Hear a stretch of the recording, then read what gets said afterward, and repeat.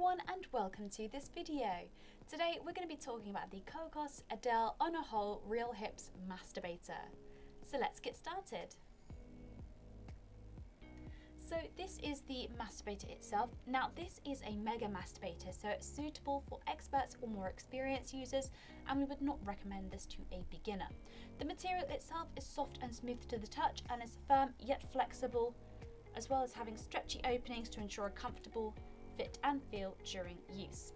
It features two openings, a vagina opening and an anus opening.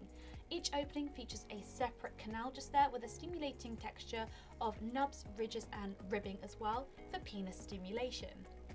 When using this masturbator, we'd highly recommend to apply water-based lubricant to the opening, the inside of the canal and your penis for optimal comfort during use. Make sure to clean the masturbator using a toy cleaner and lukewarm water or a mild antibacterial soap and lukewarm water as well. We'd also recommend to make sure the masturbator is completely dry after use and you can also use a renewing powder to make the material stay fresher for longer.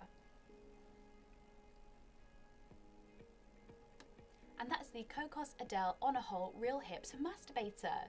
If you have any questions, drop a comment below and we will get back to you as soon as possible.